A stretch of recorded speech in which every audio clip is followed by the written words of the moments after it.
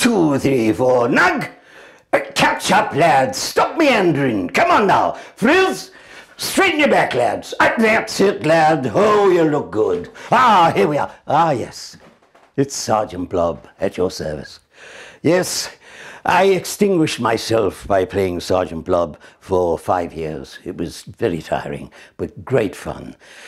Oh, I can stop that now. Uh, right. Uh, I also played. Uh, who did I play? Oh, yes, I played um, uh, uh, uh, Albert, Albert the dogfish. Do you remember? I looked after the Dreamstone. I guarded it night and day. Oh, yes. We, oh, what can I tell you? Any secrets? Yes, we all used to get on like house on fire, and then we were so exhausted after four hours of shouting and yelling at one another, we'd all lie down for about half an hour, and then we'd all dash to the pub, and then after that we'd all lie down again. Anyway, my name's Richard Tate. I was playing Sergeant Blob and Albert the Dogfish.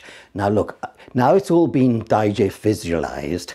You must watch it on YouTube. Will you tell all your friends? Thank you. And uh, stay calm, everyone.